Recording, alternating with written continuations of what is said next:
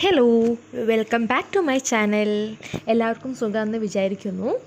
So ഇന്ന് ഞാനിവിടെ ഒരു കിച്ചൺ ടിപ്പുമായിട്ടാണ് വന്നിട്ടുള്ളത്. ഇതിപ്പോൾ കാണുമ്പോൾ തന്നെ അറിയാമല്ലോ അല്ലേ എന്തായിരിക്കും എന്നുള്ളത്. ഇത് ഞാൻ ചെയ്ത് നോക്കിയിട്ട് സക്സസ് ആയതുകൊണ്ട് നിങ്ങളായിട്ടൊന്ന് ഷെയർ ചെയ്യാമെന്ന് വിചാരിച്ചു. അതുകൊണ്ടാണ്. സോ ഇന്നിവിടെ പറയാൻ വേണ്ടി പോകുന്നത് നമ്മുടെ കിച്ചന്റെ ബേസിക് എപ്പോഴും നമ്മൾ പാത്രം കഴുകുന്ന ഒരു സ്ഥലമല്ലേ? എല്ലാ അഴുക്കുകളൊക്കെ ഉണ്ടാവും.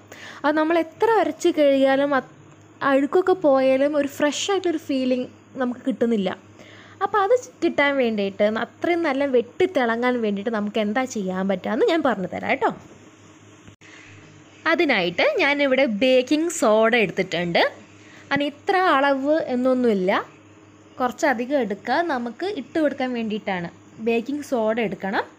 അതോടൊപ്പം തന്നെ വിനീഗർ സുർക്ക എന്നൊക്കെ പറയും നമ്മൾ അച്ചാറിടാൻ വേണ്ടിയിട്ടൊക്കെ ഉണ്ടാ എടുക്കില്ലേ അത്. ഇത് രണ്ടുമാണ് അതിന്റെ മെയിനായിട്ടുള്ള സാധനം.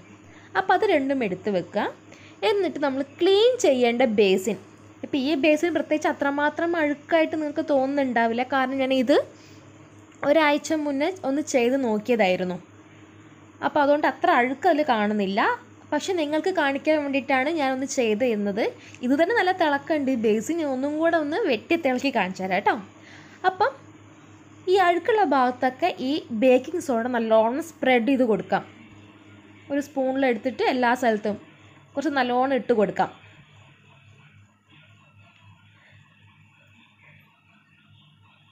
പ്രത്യേകിച്ച് ആ വെള്ളം പോകുന്ന ഏരിയയിലൊക്കെ കുറച്ച് നല്ല അഴുക്കുണ്ടാവുമല്ലോ അപ്പോൾ കുറച്ച് നല്ല അഴുക്കൊക്കെ അവിടെ കാണുന്നുണ്ട്. അപ്പോൾ നല്ലോണം സ്പ്രെഡ് ചെയ്ത് കൊടുത്തിട്ടുണ്ട്.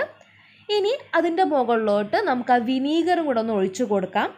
ഫുൾ ഒഴിച്ച് കഴുകുക എന്നുള്ളതല്ല കേട്ടോ ഞാൻ പറയുന്നത്. ഒന്ന് ജസ്റ്റ് ഒന്ന് ഒഴിച്ചു കൊടുക്കാം നമുക്കിങ്ങനെ. കണ്ടോ? അപ്പോൾ അത്ര നല്ല പതഞ്ഞ് വരും. അത് കണ്ട് ആരും പേടിക്കണ്ട കേട്ടോ. ബേക്കിംഗ് സോഡേന്റെ മുകളിൽ വിനീഗർ ഒഴിക്കുമ്പോൾ എന്തായാലും നമുക്കതിന്റെ ഒരു ഇതായിട്ട് കാണാം. അത് പതഞ്ഞ് വരും. എന്നിട്ട് ഇങ്ങനത്തെ ഒരു സ്റ്റീൽ സ്ക്രബ്ബർ ഇല്ലേ? അതുകൊണ്ട് ജസ്റ്റ് ഒന്നിനെ സ്ക്രബ് ചെയ്യാം. പിന്നെ സ്റ്റീൽ സ്ക്രബ്ബർ തന്നെ എടുക്കണം കേട്ടോ. പക്ഷെ കൂടുതൽ എഫേർട്ട് കൊടുക്കേണ്ട ആവശ്യമേ ഇവിടെ വരുന്നില്ല. ജസ്റ്റ് ഒന്ന് ഒന്ന് ഇങ്ങനെ ഉരച്ച് കൊടുക്കാം. അതിന്റെ കൂടുതൽ ഞാൻ കുറച്ച് സോപ്പ് ഈ വിമ്മോ എന്തെങ്കിലുമൊക്കെ ഇല്ലേ ഇവിടെ പാത്രം അങ്ങനെ സോപ്പൊക്കെ ഇല്ലേ ആ സോപ്പ് ഇത്തിരി ഒന്ന് തൊട്ടിട്ട് ചെറുതായിട്ടൊന്ന് നമുക്കൊന്ന് ഉരച്ച് കൊടുക്കാം. ഈ ബേസിനൊക്കെ വേറെ തന്നെ സ്റ്റീൽ സ്ക്രബ്ബർ എടുത്ത് വെക്കണം കേട്ടോ. എന്നിട്ട് ഇങ്ങനെ കൂടുതൽ എഫേർട്ട് കൊടുക്കേണ്ട ആവശ്യമൊന്നുമില്ല. എല്ലാ സ്ഥലങ്ങളും ഒന്ന്. വാഷ് ബേസിനും ടാപ്പും ഒക്കെ ആ ഏരിയ ഒക്കെ ഒന്ന് നല്ലോണം ഒന്ന് എന്തായാലും കഴുകുന്നുണ്ടല്ലോ. അപ്പോൾ ആ ഏരിയ ഒക്കെ ഒന്ന് നല്ലോണം വരച്ച് നമുക്ക് വൃത്തിയാക്കാം.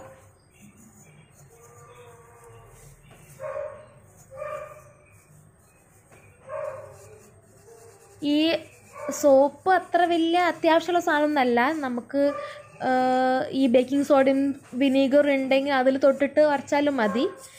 ഇപ്പോൾ ഞാൻ ഇവിടെ കുറച്ച് എടുത്തു എന്നേ ഉള്ളൂ. നിർബന്ധമില്ല. അല്ലെങ്കിൽ ഒരു സൈഡിൽ എവിടെയെങ്കിലും കുറച്ച് ബേക്കിംഗ് സോഡയും വിനീഗറും കൂടെ മിക്സ് ചെയ്തിട്ട് അത് ഈ സ്ക്രബ്ബറിൽ എടുത്തിട്ട് അരച്ച് കഴുകിയാലും മതി. ഇപ്പം നല്ലോണം കഴുകി ഉരച്ചിട്ടുണ്ട് ഇനി ആ സ്ക്രബ്ബറൊക്കെ നല്ലോണം ഒന്ന് കഴുകി വൃത്തിയാക്കിയതിന് ശേഷം നമുക്ക് കൈ കൊണ്ട് തന്നെ എല്ലാ സ്ഥലങ്ങളും ഒന്ന് കഴുകാം.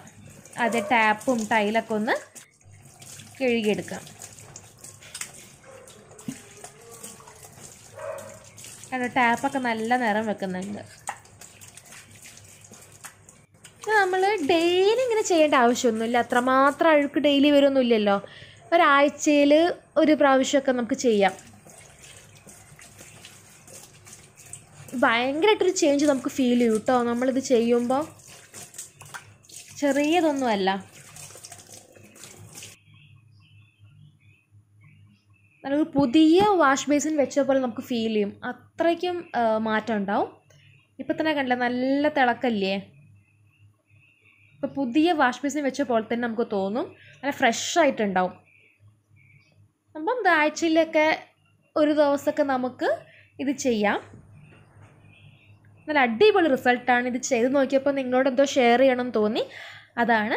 അപ്പോൾ ഇതെല്ലാവരും ചെയ്ത് നോക്കുക. സപ്പോർട്ട് ചെയ്യാം. Okay thank